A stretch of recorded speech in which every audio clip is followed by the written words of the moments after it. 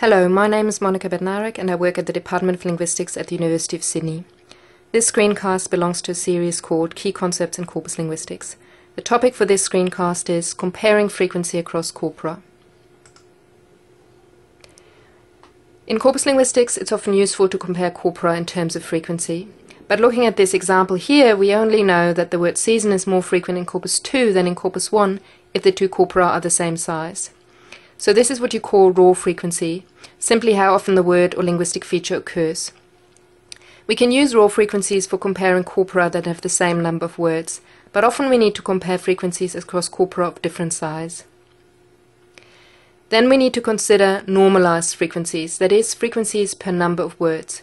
For example, let's say corpus 1 has 30,000 words, and the raw frequency of the word season is 124.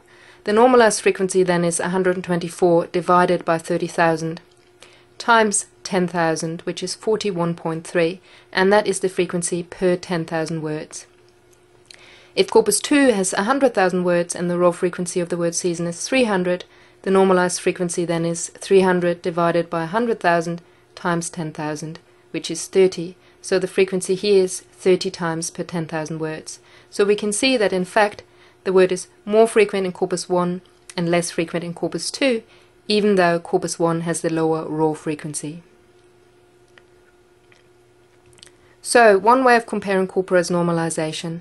Whether or not we normalize per, per 100 words, 10,000 words, um, per 100,000 words, per million words, uh, whatever, uh, depends on the corpus size. So if my corpus is 50,000 words, I would normalize per 10,000 words. If my corpus is 500,000 words, I would normalize per 100,000 words. If my corpus is 5 million words, I would normalize per 1 million words. In any case, it is usually considered good practice to report both raw and normalized frequencies when writing up quantitative results from a corpus, as McEnery and Hardie have pointed out.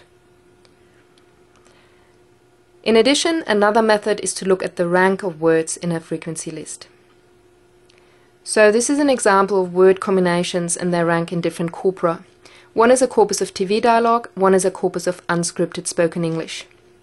Here we can see that I don't know is the most frequent in both corpora, whereas what are you is the second most frequent in the TV corpus, but only the 30th most frequent in spoken English.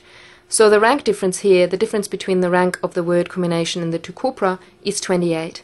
If we look at the other word combinations here, oh my god and are you doing in particular seem to be more frequent in TV dialogue than in spoken English, because both have a rank differences higher than 94.